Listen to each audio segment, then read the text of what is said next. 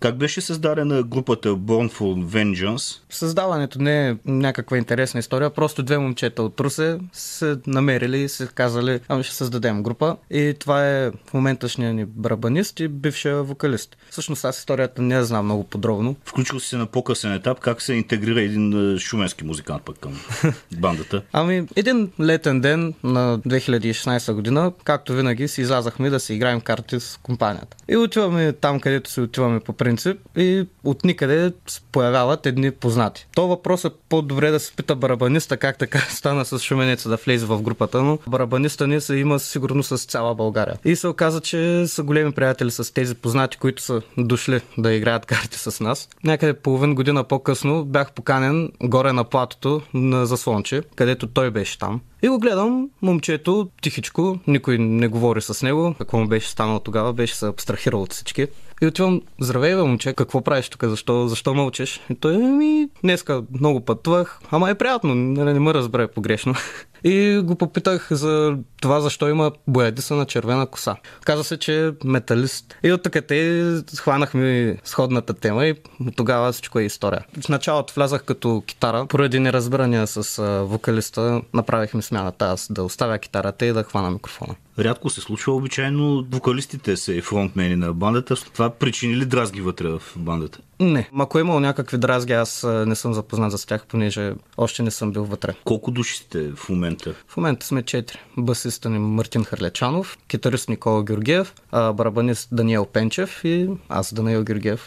Предстои ви доста работа в следващите дни и месеци. Работите върху клип в следващите дни, после правите два концерта, един в Руси, един в Шума. Да, малко ми е нервно. За първи път ще работим с режисьори, с гримьори, с сценаристи и така нататък. Още четвъртъка заминавам за Русе и започваме снимките на петъка, довършваме последните снимки в събота и неделя черешката на тортата е концерт. Как го съчетаваш всичкото това при положение, че още си ученик и не можеш да си вземеш отпуск, както го правят работещите хора, бягайки от работа, за да свършат нещо, което намират за смислено и полезно? Нямам се абсолютно никаква идея как го постигам, обаче боря се за отличник на випуска и винаги гледам да се поддържам нивото в училище да е средно 5,50. Виждаме, че си дошъл с диск при нас. Официално издаден ли е или те първо му предстои дебют? Ами, диска е записан под домашни условия, така че бихме го нарекли дебют. Демо? Ами, демо дебют, да. Всъщност се води на английски EP, което не, не означава официален релиз, но приготвяме второ такова EP, след това ще дойде трето и вече четвъртия ни релиз ще бъде всъщност албум с най-добрите песни от тези три EP-та. По коя от песните правите клип?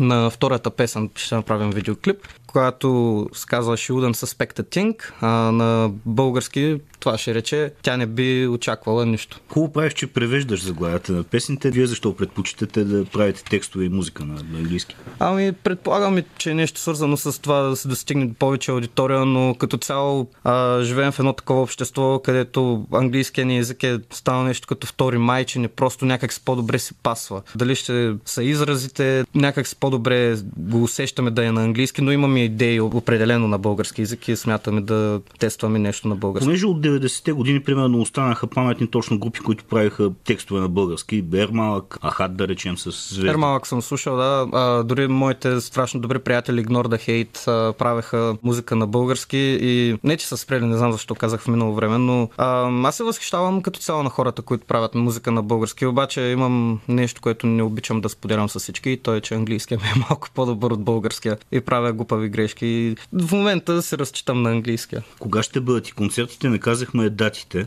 24 февруари неделя а, в Русе, в Караоке Стар. Един много приятен клуб, една такава топла атмосфера и много добри хора. А пък на 2 март, събота, е в Шумен, в Мирок, се е познатия клуб от всеки шуменец, където ние е нещо като втори дом там. Къде имате повече поддържници и фенове? В Русе или в Шумен? В Русе съм се качвал два пъти на сцена и видях доста познати лица втория път. И по-скоро ги наричам приятели.